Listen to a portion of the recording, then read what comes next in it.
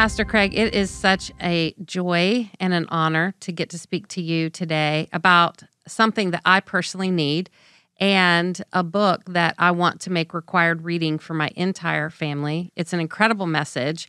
I feel like if there was only one book this year that I could just, I don't know, bribe my family or tell my family that I'll give them a big bonus of some sort if they read, this is the book. So, we're talking about Craig Groeschel's new book, Winning the War in Your Mind, with the subtitle Change Your Thinking, Change Your Life. Pastor Craig Groeschel, thank you so much for being on the podcast today. Hey, Lysa, thank you for having me. I'm always honored to spend any time with you. And that's exactly what I do with my kids is I bribe them to read certain books, like for real. If, uh, if there's mandatory reading, it's, uh, they get $100, but they have to bring uh, a report in and discuss every chapter. So bribing bribing is not a bad idea at times, right? Exactly. You know what I call that? I call it effective parenting. Good. so that's awesome. Okay, Craig, let's jump right into this message because I'll be honest, not only was I looking forward to the interview today because you're a dear friend in ministry and I've, I've been excited to talk with you about this, but because I personally need this message right now. And I know you wrote this message because you personally learned these lessons out of not just a pastor who saw a good topic to talk on or write on, but this was born out of your own place of desperation as well. You've had a pretty persistent, you've been honest about this, negative belief that you encountered early in your life and you've been trying to overcome. So, can you share a little bit about that? Sure. Uh, yeah, the book really is born out of uh, a personal uh, struggle that I, have had for years, and it's embarrassing to be a pastor of a church and and have you know um, somewhat of a decent impact, and yet still struggle with such basic battles in my mind. But uh, early on in life, Lysa, I just I had this. Um, these negative voices over and over and over shouting at me that you're not you're not enough You'll never be good enough. Um, you'll never measure up. Uh, it, it, basically, you're you're incomplete. And in some ways, those voices can propel you to do a lot. Sometimes, uh, sometimes your dysfunction actually makes you more successful in different ways. But the outcome and the personal price that I was paying for years and years and years just became too much to bear.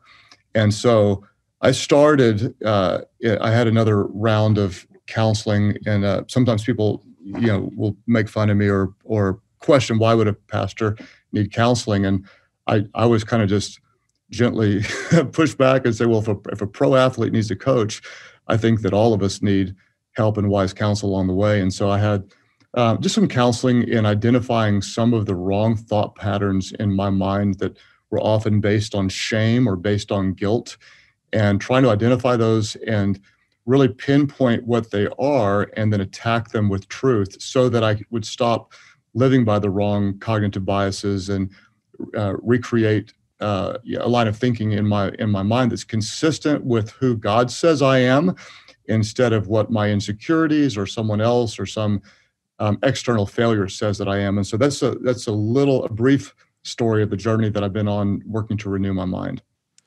I was fascinated in the book by what I feel like was probably a profound turning point um, in your life. And it's when those thoughts of, I'm not good enough, were haunting you. Mm-hmm. And so you set out to work so hard. I think you were saying seven days a week, just mm-hmm. nonstop mm-hmm. to prove either to other people or to yourself that you were good enough to do this. And then you said you got a call one day from your daughter Katie, who's grown now, but I'm assuming at the time she was a little girl. And she said something to the effect of, Daddy, why do you uh, why do you live at the office and you just mm-hmm. work at home? And I was so struck by that. And I imagine that was probably a big turning point for you of at least some awareness of I've got to do something about mm-hmm. this incessant drive to overcome these feelings of I'm not good enough? Sure, it was. And so in my in my mid 20s, Lysa, the um, denomination I was a part of made me go to counseling for being a workaholic, and I laughed it off. I thought it was stupid at the time. I thought I don't need this. They don't love Jesus like I do. They don't work like I do. They don't drive like I do. And so I I, I shook it off. It was several years after that. Uh, Katie was born around that season, and I, I, I we worked all the time, and we thought it was pleasing to God. We thought we were doing the right thing. And you know amy was kind of there with me. She just supported me uh, you know you're going to serve jesus. You're going to and we worked literally nonstop like no days off no breaks no vacation. It was really dysfunctional. We didn't know it. And i told katie she was a little girl um, i'll be home in a little bit. And she said daddy this isn't your home. You, you live at the office and when she said it it was lysa it was like my whole world just crumbled in front of me and maybe the scales kind of fell off my eyes.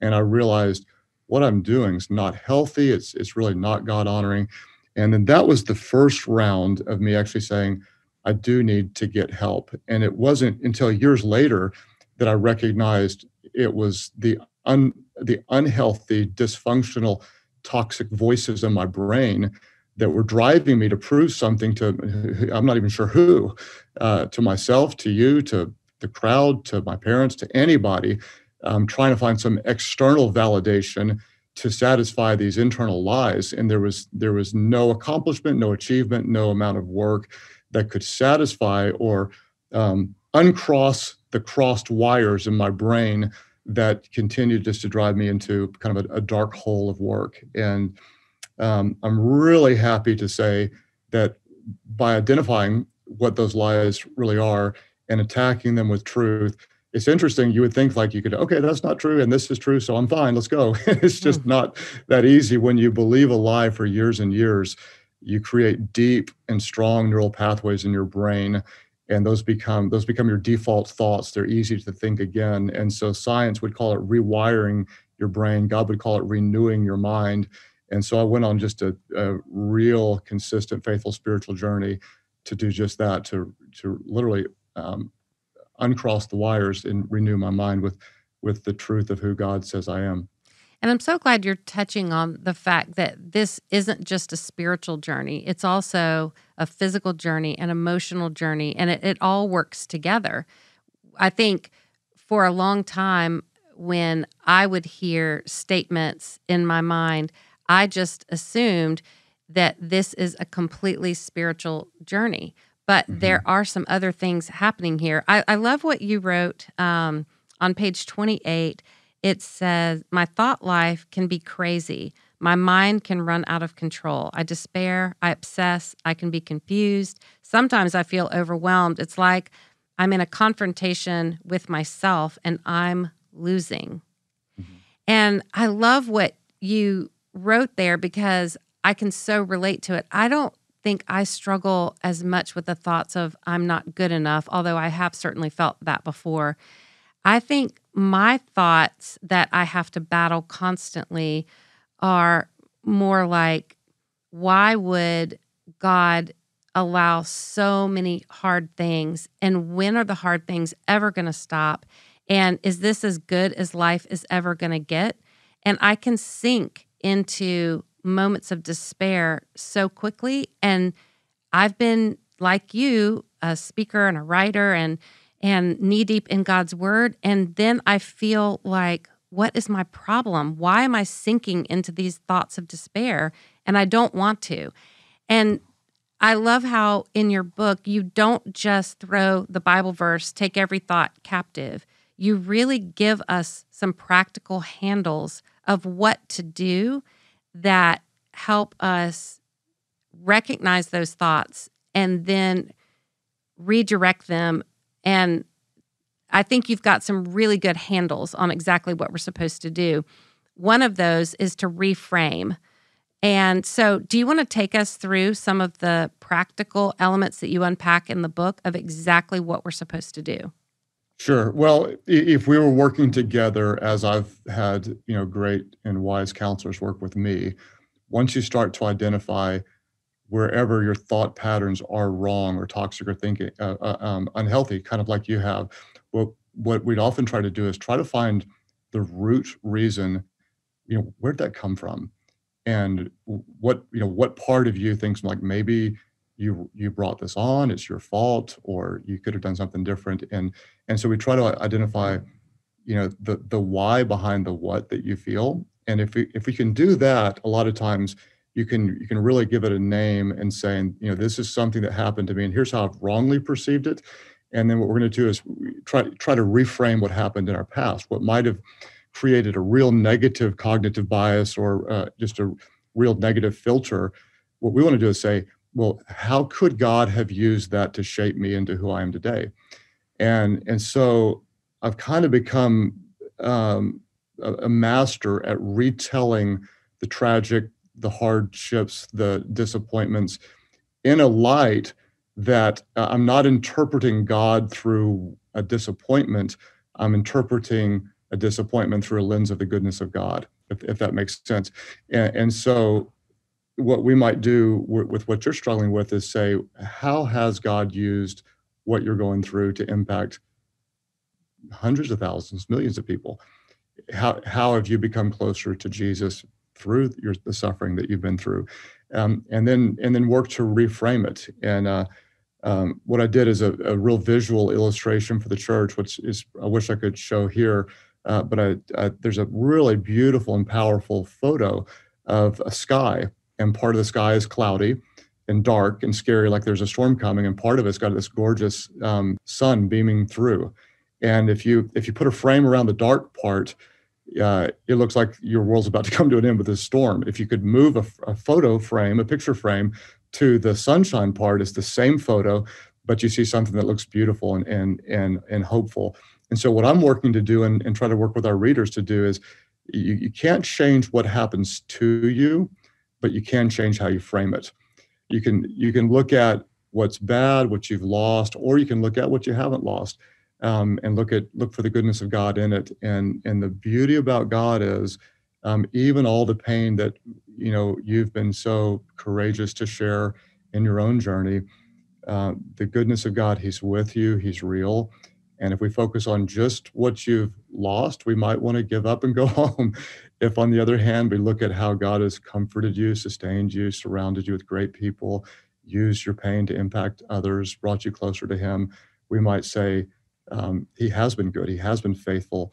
Um, even though we wouldn't have chosen the path, He's been with us on every step of the path. Mm, I love that. You tell an interesting story in the book that I found um, so such a good example of this reframing because uh, I remember when your book came out, Hope in the Dark, and mm-hmm. um, you and I had several conversations because the book sold so quickly, and then there were some problems with printing, and there weren't enough copies that had been printed, and so it was a really crazy hard time that people were wanting the book you had done such a great job telling people about the book now being available. And then all of a sudden, it had sold out and there were no books. And it was frustrating because you knew people wanted this book, needed this book, there would be help in this book. And it was a glitch in production that was preventing the message from going out.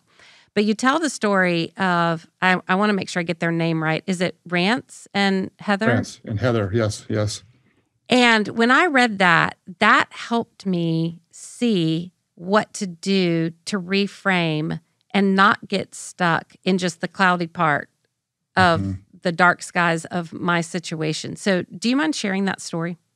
No, such a special story. And as, as an author, you know, Lysa, you pour your heart into every word on in every paragraph on every page, praying and begging God to use it to impact lives. And so when a book comes out, and it does land in people's hearts, it's uh, it's every uh, every prayer answered around that book. And so when we ran out of books super quickly, and we're not talking about like two or three days, it was.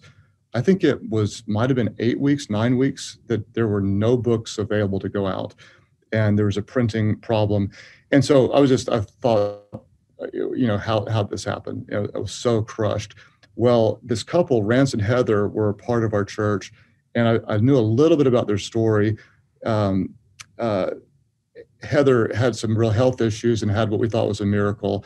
And she ended up ordering a copy of the book for her husband uh, but it never came. And he, did, he didn't know that. And then she ended up tragically dying in a real short period of time. And it was just, we were all so disappointed. And weeks and weeks and weeks, you know, after the book was out of stock, um, she had passed away. And shortly after, when he just didn't know which way to turn, lost his young wife. Now he's a um, a dad, you know, without his without his wife, and and his kids don't have a mom.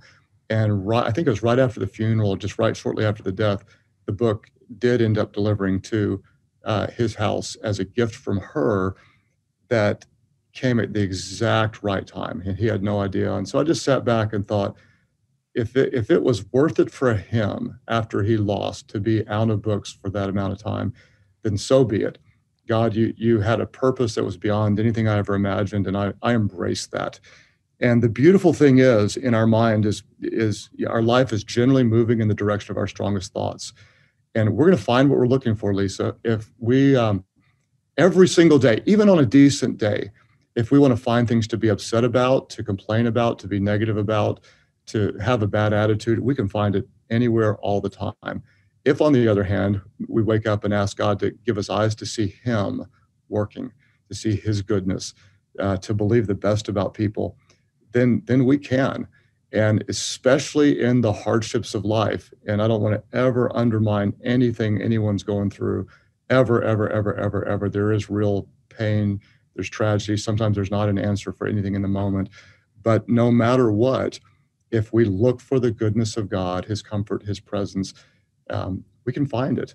And if we train our minds uh, instead of uh, going on the, the normal negative sinful pathways of criticism or complaint but instead train them to um, go on a pathway of, of gratitude and hope and faith it's amazing how much god can renew our minds and how different our perspective can eventually become.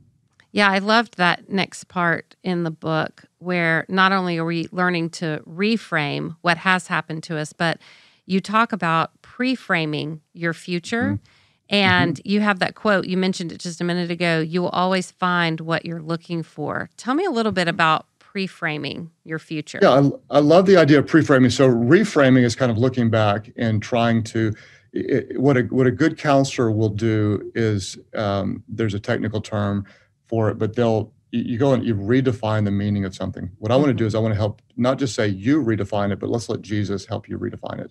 Where is he working in it? That's reframing. Pre-framing is before you go into a situation, deciding uh, how you're going to find meaning in it or what kind of attitude you're going to have. And uh, I'm married to the master of pre-framing, Amy.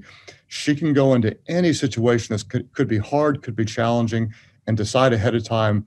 Um, we're going to have a good attitude. We're going to be blessed. We're going to see the best in people. We're, we're going to be positive. And she just seems to do that. I can be uh, I could have a negative bias toward pre-framing. This is going to be hard. I'm not going to like it. These people make me crazy. You know, I, I don't want to be here. And it's amazing how that mindset tends to create a reality. And so, what I want to do is I want to pre-frame um, seeing good in a situation, and it's not just not just like life, like pre-frame a good date or a good whatever. I, I say in business and leadership tonight, I've got to talk to our whole staff. And so I've already pre framed in my mind the belief that God is with me. He's going to use it, even though I'm not as prepared as, as I'd like to be. I, I can visualize Him showing up, people being excited about the mission, us cheering that we get to do something that lasts eternally. And so in my mind, I'm pre framing um, the goodness of God. And I believe because I'm visualizing and this not not just creating it in my mind, but um, by faith, believing He's going to be there and be faithful, that we're going to have a great night. It's, pre- it's pre-framed to, toward the good and toward faith, rather than pre-framed toward negativity um, or anything that would be toxic. I love that, and honestly, I feel like that section of the book, "Winning the War in Your Mind," um, it is worth the price of the entire book, and I just I can't recommend it enough. I had a situation where I I didn't know what to call it, and um, and it's reminded me of I can call it now pre-framing, and I, I think it's mm. so good. But I um, I have social anxiety when I walk into a gathering not a gathering with people that I know I have instant depth with, but a gathering where I know there's going to be a lot of shallow conversations because everybody's on the surface. And so That's I, shocking to me, by the way. Is it? No. It is. Oh it man, is. I really I struggle with it a lot. And so I always scope out where the bathroom is because the bathroom stall is a safe place when you have social anxiety. And the second thing I stock is where's the guy who restocks the sodas and the waters? Like if there's a, a table where they put out all the refreshments, whoever's restocking that, like they're a good person to talk to because they're always there and they're always busy and they have they're not talking to anybody. So I stalk out where's that person that works here that I can talk to because they'll talk to me. And where's the bathroom stall? If this all goes crazy, I can go hide in. So I so do. Imagine how amazing it is if that person is actually in the bathroom and you can talk to them from the bathroom stall. Like yes. your dream come true. Well, no, no, that would be awkward and weird. But maybe for guys, that's okay. For girls, that's weird. Okay. But here's the thing I went to a gathering and I walked in the room and I was probably five minutes late from getting there with all the other people. And everybody already had found someone to talk to. And so I just knew this is going to be awful. And what I brought into that situation was a preconceived notion that no one really wants to talk to me. I don't really belong here. Maybe a little bit of I'm not good enough. And I'm not really in the mood to have all these shallow conversations because I, I don't like that. And so I brought all of that into the room. I stayed for about five minutes, couldn't find a conversation where I could really break into. So instead of just going to the bathroom stall, it was at a hotel. I went up to my room in the hotel and I walked into my hotel room. I threw myself across the bed and I thought, I hate that I have this. I feel like it's crippling.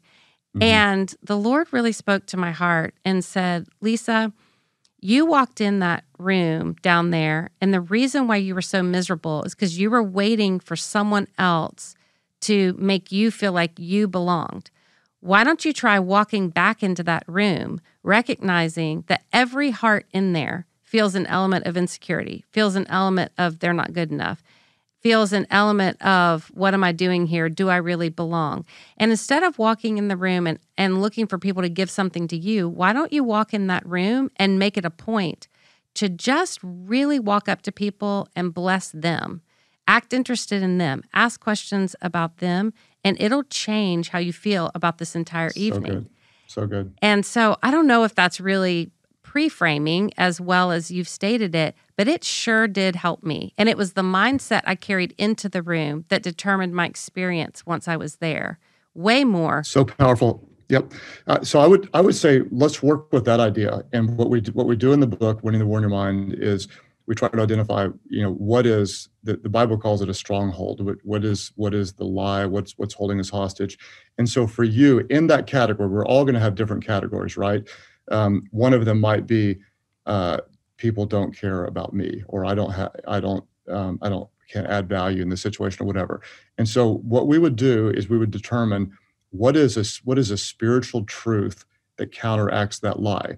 And so I would kind of even ask you that: Is there a Bible verse? Is there an idea that comes to mind that counteracts that lie? And you kind of said some, but is there something that you could just even say right now that, that comes to mind? Yeah. One of the verses I'll repeat to myself over and over is Matthew 5 8. Blessed are the pure in heart, for they shall see mm-hmm. God. And it mm-hmm. ties with a prayer that I try to pray every morning. And my prayer is mm-hmm. God, I want to see you. God, I want to hear you. God, I want to know you. And God, I mm-hmm. want to follow hard after you. Before my feet mm-hmm. even hit the floor today, I mm-hmm. say yes to you. And so that prayer sounds awesome and it's great until I forget that I prayed that prayer that morning. So when. I walked in mm-hmm. that room that day, instead of actively looking for how I was to say yes to God, I walked in a little bit desperate for someone mm-hmm. to notice me and help me feel like I belonged in that room. Mm-hmm. And so, blessed are the pure in heart, for they shall see God.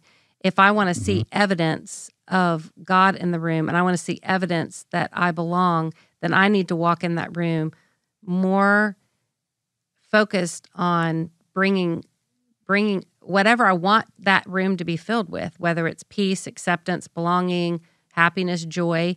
I don't need to wait for someone else to give it to me. I need to bring that into the atmosphere that I'm walking into. So that's so good. I'm right. I'm writing down, and here's what we here's what we want to do. And you're the master of this. In fact, you came and taught our staff about just the power of of creating emotions around words, which you do better than better than anybody. And so, in the book, we, uh, I'm really working to to give people the tools to have what I call, call scriptural declarations that we're going to say again and again and again. And your prayer is that I would add to it. I just kind of wrote this down is, is what you want to do is you want to identify that you you really you belong to Jesus. That's your, your worth is in Him, and so you could add to your prayer something like, "Because I belong, because I'm blessed to belong to Jesus, I'm blessed to share His love with others. I'm curious, I'm intrigued, um, and and I'd, I'd, add some words like that. Uh, um, I uh, when I see someone, I want to know about them. They're the center of my attention um, and I'll show them God's love. And you, say that again because I belong to Jesus, because I'm blessed to belong to Jesus, I'm blessed to show His love. When I meet someone, uh, uh, I want, I'm intrigued, I'm curious, I want to know about them. And, and I want to add value to their life. And so I, I would work really hard to come up with a statement that's better than that. But I'm going to say it over and over and over and over and over again. Some of the things that I say, I've got a list of declarations that um, that I, did, I say um, every day. I, I, I, belong to Jesus. I exist to serve and glorify Him. I love my wife. I lay down my life to serve Him. I'll raise my children to love God and serve Him with their whole hearts. I'll nurture, equip, train, empower them to do more for the kingdom than they ever thought possible. Um, uh, over and I'm disciplined. Christ in me is stronger than the wrong desires in me. And so I go through this whole list of declarations that are designed, they're emotional to me, but they're based on spiritual truth and they're designed to renew my mind around the qualities that I know God wants me to have and embody. And so with you, I'd take the two things we talked about. The first thing is when if you feel like why are these bad things happening to me, and uh, I would come up with a declaration that you can say again and again. Um, though this day may diff- may be difficult, um, I choose to see the goodness of God. He is always with me. He is always for me. And he's always working in all things to bring about good because I love him and I'm called according to his purpose. Something like that. We just, you know, we'd make it really personal. And the second thing is because I'm blessed to belong to Jesus, I'm blessed to show his love wherever I go. When I walk into a room, I care about people. I believe the best in, in others. Um, and when I leave, people will be closer to Jesus than when I walked in. Something like that. And we say it over and over and over again. And what we're doing is we, I like to write it. I like to think it. I want to confess it until I believe it. Mm. And this isn't positive thinking. This is this is scriptural thinking. What I'm doing is is we want to align our minds with truth. And when we when we identify wherever our thinking is faulty, where it's toxic, where it's insecure, where the devil's telling us what we aren't, what we can never do, why our life's never going to matter, we're going to identify he's the father of lies. Jesus is the truth, and the truth will set you free. What is the truth? That will renew my mind and set it free. And then we're just going to we're going to drive it into our brains until our default thoughts are no longer the lies that have held us hostage that cause us to retreat or fear or feel ashamed or dirty or incapable or whatever. And we're going to we're going to we're going to renew our minds with truth so that our default thought is God's word and his promises um, not the other way around. And it's it takes time, but what I like Amy would tell you, I am a different person today than five years ago. Wow. And it, we didn't get here by accident. It wasn't by doing nothing. It wasn't by staying with the same patterns that I had for 48 years. It was for five years working to um, capture the lies, identify it, and replace it with a truth that's not just conceptual and out there, but it's concrete, it's written, it's personal, it's grounded in God's word, and it's I say it over and over and over again. If I've if I've thought, you know, ten thousand times, I'm not going to measure up. I'm not good enough. I'm I'm unworthy. Then I then I might say it ten thousand times. I'm capable to do all things because the spirit that raised Jesus from the dead dwells within me. I say it over and over and over again until we, we literally are. You change your thinking, it'll change your life. I love that. That's probably one of the best practical examples of what to do to take every thought captive to the obedience of Christ that I've ever heard. I think it's super powerful. I love that in the book, you've typed out your scripts of your mm-hmm. declarations and exactly what you say because I found myself thinking, okay, now that I can see an example of exactly how he phrases this, I can give myself permission with great intentionality to do it myself. Mm-hmm. Um, let's end on this. This is this has been so helpful for me personally. So thank you, Pastor Craig. Thank you. Um, thank you. I love that you quoted Dr. Caroline Leaf, and this mm-hmm. is the quote. And I said, I need to read this over and over and over. It has been found that 12 minutes of daily focused prayer over an eight week period can change the brain to such an extent that it can be measured on a brain scan. That mm-hmm. is incredible to me. And I love Isn't that. It? yes. And I love that it, it doesn't say for an hour a day, it says 12 mm-hmm. minutes of daily focused prayer over an eight week period. And I love that it's mm-hmm. that defined because it mm-hmm. makes me feel like I want to do this with more intentionality and see what happens in my life. I can do this for 8 weeks. It's it's doable. Mm-hmm. That's right. And so just answer this question. When she says 12 minutes of daily focused prayer, what mm-hmm. what is a focused prayer? Well, that's a good question because I feel like a lot of my prayers are more like ADD, you know, me wa- too. wandering wandering mind prayers, and so I, am just I'm obsessed with the real. I, I, love the science of the mind because God created science, and so er, to me, everything we talk about in the mind is God honoring. If God if if God created the brain with with that we can create neural pathways, that means that the more we think a thought, the easier it is to think a thought. Then I want to I want to think the right thoughts, and I want to train my mind in the same way. I'm I'm in I'm an I'm an old athlete, and so I'm into training my body. Even at 53, I I, I want to honor God by training my body. Why in the world would I not train my mind? The thing that mm-hmm. directs everything about how I treat people, how where my faith lies, what kind of impact I want to have. If there's anything I want to train, uh, is my mind. So if I'm going to meditate, oh my gosh, isn't meditation new age? Look at scripture. Meditate simply focusing your thoughts. If I if I'm gonna I can meditate on God's word, what I'm doing is I'm training my mind to focus. So it sounds crazy, but uh, part of my discipline, Lysa, was uh, for two years. I don't do it anymore, but I'd, I'd come in and for five minutes I would train my mind in like literally nothing but focus. And what that did is, is uh, I'm going to not, not let it wander. And I was horrible at it but what that's done is now I'm better at focusing in prayer. So I do a few things. One is when I focused in prayer, I have a list, and um, I know you pray for our family, and, and you are you're on the list um, uh, quite often because our family loves you. And so I'll pray through the list. That keeps me focused. The other thing I do, Lysa, to train my mind in toward prayer is so powerful, and I'd love for your podcast family to do this. Is just um, anytime you're praying, just breathe in, and whenever you breathe in, ask God to give you a name. And, and I promise you, what'll happen is there'll be a name that drops into your brain. And then when you breathe out, just say the name, take them before God. Mm. And then breathe in by faith, waiting for God to give you another name, and He'll give you another name. And then breathe out and just say their name. It just take just take their name before God, and then breathe in and wait for God to give you another name. And what'll happen is you'll find you could for 12 minutes, like literally for 12 minutes, God give you name after name after name after name. What it, it does a few things is one is it's training your brain to be focused. Two is it's helping you have confidence that you're actually hearing from God. He's bringing people to mind. Three is you're praying for people. Four is when you see them, guess what you can say? Hey, God brought you to mind today, and I lifted you up in prayer. And then you, five is you go you go out on the day realizing I just spent some time in the presence of God, focusing on others. I'm loving the Lord God with all my heart, mind, soul, and strength, and loving others as myself.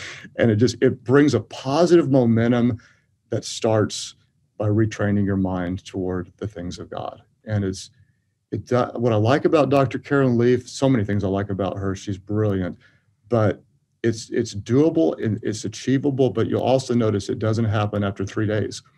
It happens after after after eight weeks. And that's one of the things I've learned is that you can take three steps forward, you're likely to take two steps back because you're, the lies we've believed are so strong our spiritual enemy has such a hold of our minds. You're the world's coming to an end. You're not going to matter. You're not going to measure up. You're never going to have a good relationship. You're never going to be on a debt. Your your life's always going to be bad. Mm. Your kids are going to be a mess. It's your fault. You're always going to be addicted. Your your body's not pleasing to anybody. You're on and on and on and on and on and on. Those are lies from the pit of hell. Mm-hmm. And who are we? We belong to God. We're joint heirs with Jesus Christ. We're ambassadors. We are new. We're forgiven. We're redeemed. We're changed. We are the same. We're overcomers. We're more than conquerors. So if we can, if we can take the truth and and form it in a way that's personal, scriptural, and and and demolishes the lies that have been holding us hostage. God can God can renew our minds. It's, they become different and now our default thoughts don't go to what we're not and what we can't do and what we'll never have, but it goes to the goodness of God, who He is, His promises, uh, and it's it's um, it's a game changer. And I pray I pray your um, your podcast family gets excited about it. I pray that they see real, genuine spiritual results as a result of seeking God to renew our minds with truth. I feel very confident that they will. Again, we've been talking to Pastor Craig Groeschel, Winning the War in Your Mind, his new book that is changing the way I think. And I'm so grateful that I have this resource to give to my family. I want to make it required reading for my entire family. And I want to end on this declaration. It's one sentence that you have that you said, when I start to think about what that what I do doesn't matter, that I'm not making a difference, this is one of the things you declare. The world will be different and better because I served Jesus today. And I love that. Negative thoughts come so effortlessly in our mind, they just pop into our mind and assault us constantly. But this book, Winning the War in Your Mind, it will train us with great intentionality to know how to counteract the lies that are hindering us so that we can really have the truth that will set us free and better perspectives to carry with us. And these declarations are such a crucial part of that. Pastor Craig, thank you so much for writing this message. Thank you for being with us today. Thank you for personally helping me on a day where I need to win the war inside of my mind.